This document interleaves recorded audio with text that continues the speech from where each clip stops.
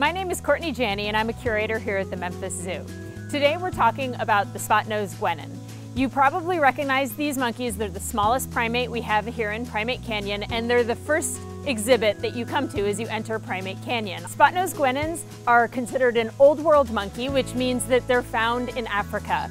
Their range is central to Western Africa and they're a really expressive species of primate. They talk quite a bit. They have a loud alarm call. You might hear them squeaking some behind me. They don't just talk to one another though using their voices. They use a lot of body language. So you'll see them if you watch opening and closing their mouths at one another, opening and closing their eyes at one another, and using sort of head bobs and tails to communicate with one another as well. Spot-nosed guenon are most recognized because of the little white spot on their nose, and a lot of people think that it looks like a heart. The best way to support spot-nosed guenons in the wild is to actually just support your local conservation institution. By coming to your zoo, by learning about species like this, it allows us to then support various conservation efforts in the wild that will support these species.